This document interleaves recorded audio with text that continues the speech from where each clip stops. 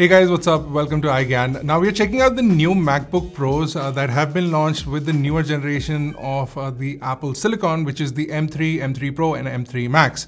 Now, if you're in the market for a new MacBook Pro, or if you already own a MacBook Pro and are considering upgrading, uh, this video will possibly help you figure out whether or not you should be jumping into the M3 line or uh, whether you should wait for the next generation.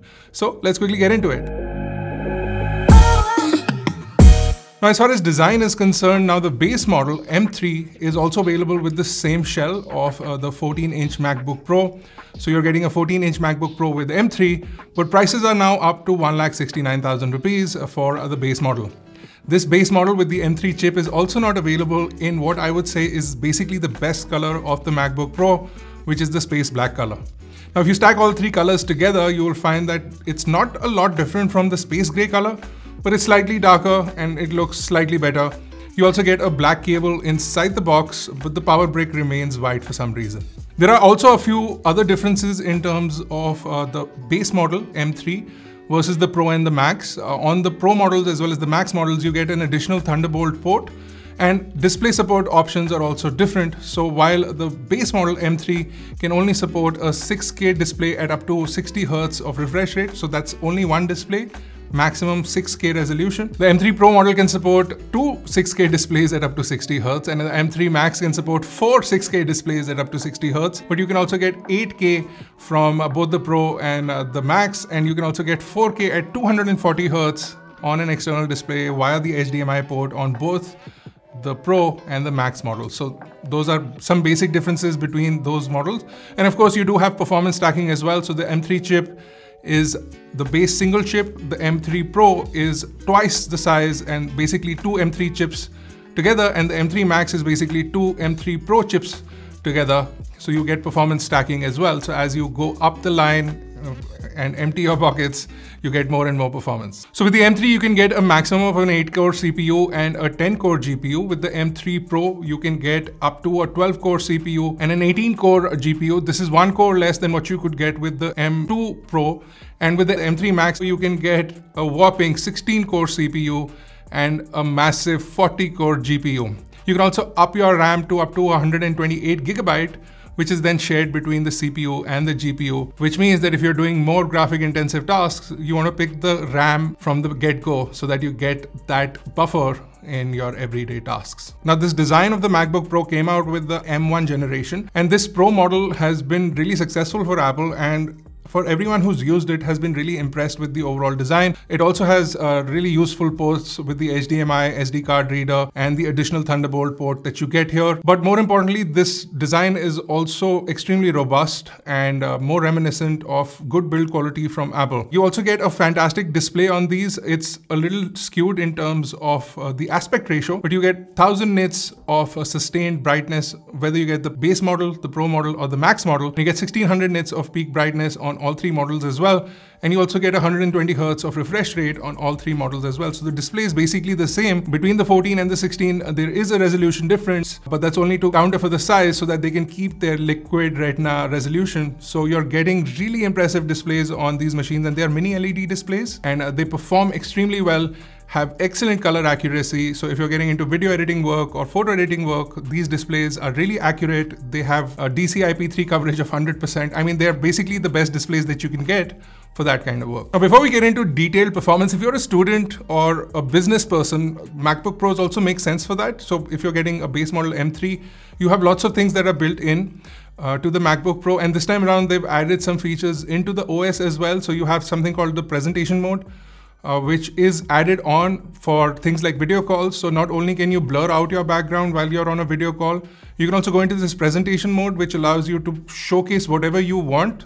So you can have an app on the screen and that'll allow you to sort of demonstrate on the app. It looks really cool and you can be in front of the app. It automatically detects the depth. This will be great for video calls, for students to make presentations, uh, for uh, business owners to make presentations as well. I mean, it's a very easy way to demonstrate things and it's now built into the Mac. You also get a high resolution webcam. It's a 1080p webcam, but the colors are really good and uh, the exposure also comes out great. It works well even in low light situations. And you have excellent noise isolation as well. They have added a new feature for noise isolation And speaking of noise isolation, the microphones are really impressive on this as well. So this is a sample of the camera and the microphones that are built into the MacBook Pro. The microphones are actually really good in terms of uh, the audio fidelity, but also they're excellent at noise isolation.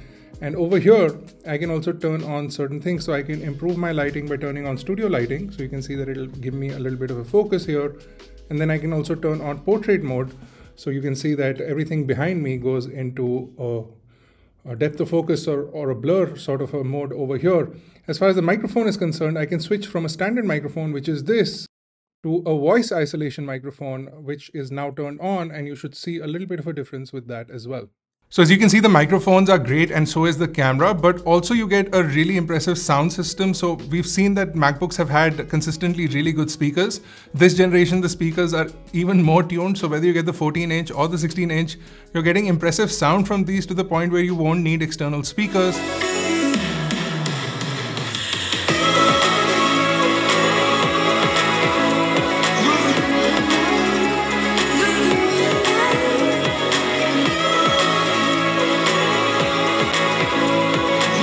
It automatically isolates the speaker so it will not pull back any sound from the speaker into the microphone and you won't get that echo uh, that you do on other laptops. Now with all that out of the way, let's talk about performance. Uh, we've already seen that the threshold for 4K video editing, 8K video editing was crossed when Apple released Apple Silicon. With M1, we've already established that 4K video edits have become simple. So whether you've got a base model M1 or a base model M3, the performance uplift for those kind of activities will not be that much because we've already crossed that threshold. So you're not going to see an improvement in terms of being able to play 4K video videos or being able to edit 4K videos because previous generation machines could already do that. What you're getting now is improvement in terms of efficiency and what you're getting is improvement in terms of increasing the tasks. So whether you are rendering four streams, now you'll be able to render eight streams. So it improves in terms of stacking. These machines are extremely powerful. And if we just look at some benchmarks, you'll see that there is a considerable difference from previous generation machines.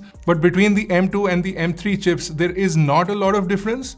So you're only getting a slight improvement from last generation, but a significant improvement from first generation of Apple Silicon as far as benchmarks are concerned. What we've also seen is that uh, render times have reduced. So if you're exporting videos on say uh, video editing software, you'll find that not only are render times faster between last generation's chip and this generation's chip, but they're also more efficient. And that is thanks to the increased number of efficiency cores on the CPU of the M3 chip versus the M2 chips. So we're getting better battery performance from these machines and we're getting less power consumption. And if you're editing videos, uh, while these are faster than last generation, they're also consuming much less power uh, than last generation. What has also been added to the M3 chips is an improved media engine. It also has an AV1 decoder, and you also have hardware accelerated ray tracing all the way from the base model M3 chip to the M3 Max chip. Now, this not only allows for very specific lighting situations in games, it overall improves the gaming capability. And with the kind of displays that you get with the MacBooks, you'll be able to enjoy this thoroughly. You can also attach an external display and because you can attach a PlayStation or an Xbox controller with the MacBook, you can get that experience of gaming on these machines. And with some new games like Lies of P and some other games now being available and being pushed out to Macs, uh, which means that not only can you use these for performance intensive tasks, but you can also enjoy gaming on the side in your downtime, which is excellent. And while these may not be there as a gaming PC, these are still extremely capable machines with impeccable hardware in there, which will be great for gaming situations as well.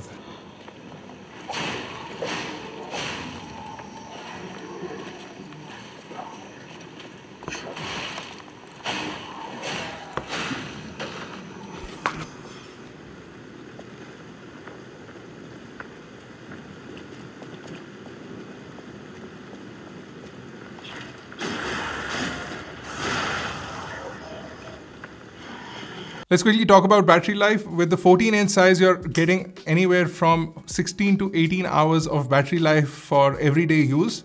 And with the 16 inch, you're getting anywhere from 20 to 22 hours of battery life, which is kind of ridiculous. With the 16 inch model, you do get a 140 watt charger out of the box, as well as with the 14 inch one, you get a 96 watt charger out of the box. Both these machines will offer impressive battery life and one thing that has improved the battery life is the increase in the efficiency cores that I mentioned earlier, but also the fact that these run much cooler than previous generations. So you barely even hear the fans turn on, even for high intensity tasks. So even while in certain cases while gaming and in certain cases while exporting videos on Final Cut, the fans don't even spin up because these are that thermally managed and that much more efficient that you don't even need to worry about batteries being drained by fans running at high speed. So overall, these are really capable machines. They are expensive and that's basically the only downside you have with MacBook Pros. And they're now much more acceptable by people and you will see that a lot more people are gravitating towards buying a MacBook because it has become a more reliable and a more complete machine. Now, do you need a MacBook Pro? That's a question that you need to answer because the MacBook Air is also quite capable and you still get those presentation features on MacBook Airs as well. So if you're a student or if you're in a working situation, uh, a MacBook Air will be a pretty impressive machine for you. But will you have hardware accelerated ray tracing? Probably not. Uh, will you have the gaming prowess? Probably not. Will you have impressive speakers? And microphones probably but not as good as this. So i mean if you want that extra performance and want that extra capability and the impressive display the macbook pro basically becomes the option for you. What are your thoughts? Let us know in the comments section below. And if you're planning on buying a macbook pro let us know what your preferred specifications would be in the comments below. And i'll see you guys in the next one